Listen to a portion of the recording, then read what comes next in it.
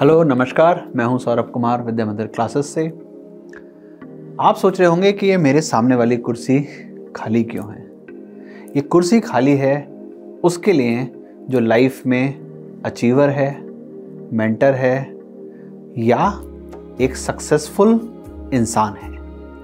तो नमस्कार, हम एक पॉडकास्ट सीरीज़ शुरू करने जा रहे हैं, जिसके अंदर हम आपको इंटरेक्ट कराएँगे मेंटोर से सक्सेसफुल स्टूडेंट से successful people in different walk of life से, जो स्टूडेंट्स को गाइड कर सकते हैं उनके डिसीज़न मेकिंग में, उनके इनलाइटन करने में, उनको ट्रबल टाइम में गाइड करने के लिए या लाइफ में कुछ अचीव करने के लिए।